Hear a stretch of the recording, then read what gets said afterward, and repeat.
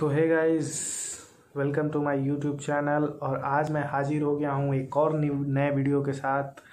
Guys मैंने पिछली video में आपको इसका रिव्यू बताया था। रिव्यू किया था इस शैम्पू का बट अभी मैं इसको यूज़ कर चुका हूँ लगभग एक हफ़्ते, यानी कि वन वीक यूज़ करने के बाद। मैं अभी आपको रिस्पॉन्स बताने वाला हूँ इस वीडियो में तो बने रहिए हमारे इस वीडियो में। अगर आप नए हैं तो इस, हमारे चैनल को सब्सक्राइब ज़रूर करें। और नोटिफिकेशन बेल को ऑन कर लें ताकि आपको आने वाले अपडेट्स वीडियोस के मिलते रहें।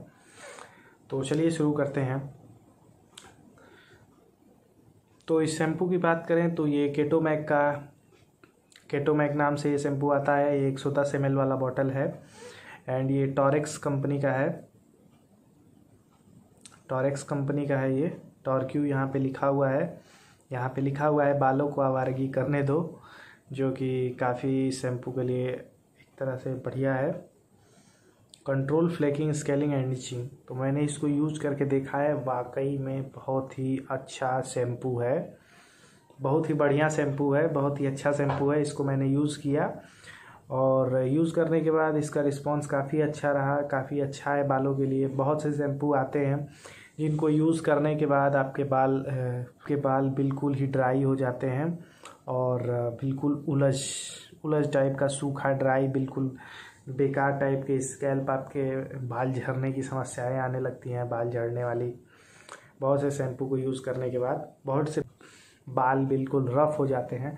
बट इस शैम्पू के साथ ऐसा नहीं है, ये शैम्पू बहुत ही अच्छा शैम्पू है। इसको मैंने यूज़ करके देखा है और इसे यूज़ करने के बाद डैंड्रफ भी डैंड्रफ को दूर तो करता ही है, डैंड्रफ तो